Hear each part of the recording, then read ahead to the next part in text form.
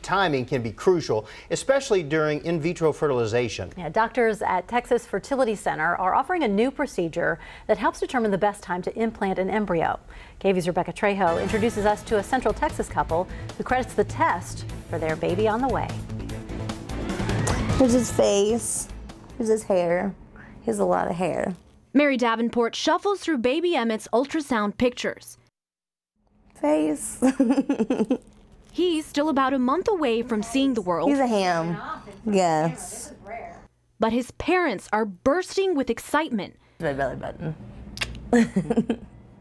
their desire to have a child of their own. When I was a little girl, that's what I wanted to be when I grew up. I wanted to be a mom. They spent more than $50,000 on three unsuccessful in vitro fertilization or IVF cycles. We each weren't ready to quit.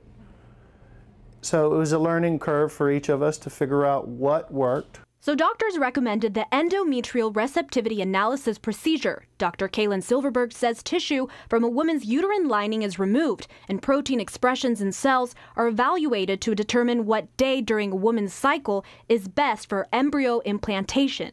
And so now this test has really eliminated one of the last remaining variables and one of the last remaining barriers to success with IVF. More than 200 patients have already used the test at the Texas Fertility Center. For the Davenports, they were willing to spend several hundred dollars more for one more chance. I just, I love having my little baby in there and feeling him every day. And I, I look forward to, to meeting him. In Austin, Rebecca Trejo, KVUE News. I see the joy in her face for sure.